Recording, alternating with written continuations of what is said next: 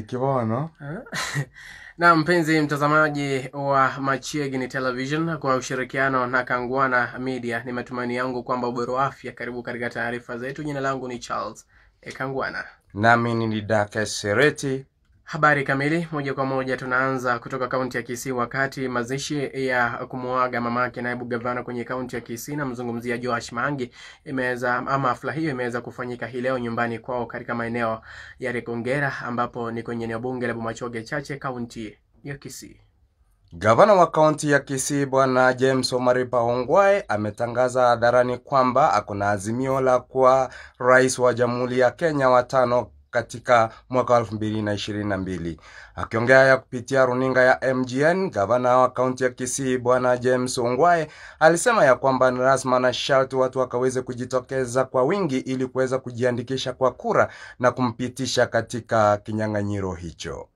Na katika taarifa nyingine ni kwamba sasa seneta wa kaunti ya Meru ambaye ni ambaye ni Runtik ameweza Malentika ameweza kutiwa mbaroni asubuhi ya leo baada ya kufahamika ya kwamba zaidi maneno aliyozungumza jana katika hafla ambayo iliwahusisha watu kutoka chama cha UDA katika eneo la Eldoret Sports Club.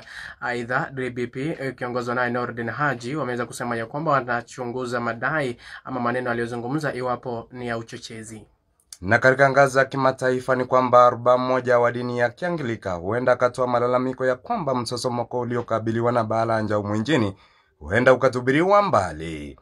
Na tukiachana na taarifa hiyo, sasa tuingie kwenye Google la Sport. Ni kwamba sasa AFCON inarejea kwa kishindo, huku ikitarajiwa kuanza hapo kesho.